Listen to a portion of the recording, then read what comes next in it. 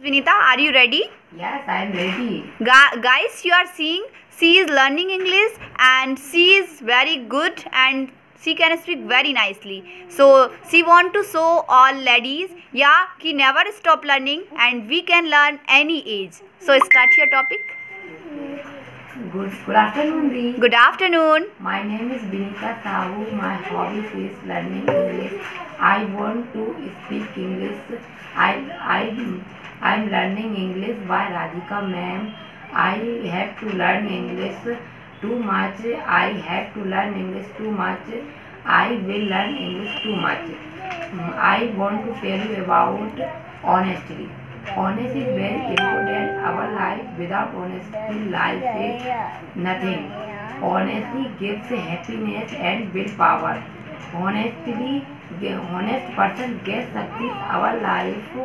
Honestly, honestly support every fight.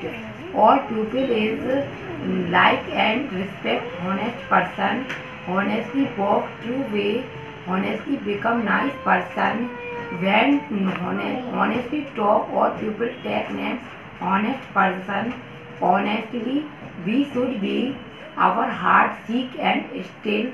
But honest person face problem too much. But don't don't scared and face problem too much. Honesty is very important. Every work. Um, example, doctor should be honestly our treatment for patient.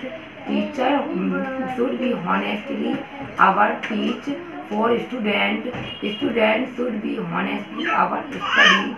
Um, shopkeeper should be honestly our um, our shop customer.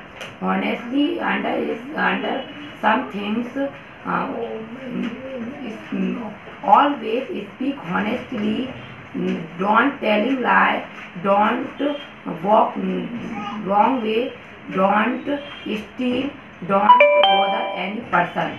All person is mm, is follow all thing. Never lost.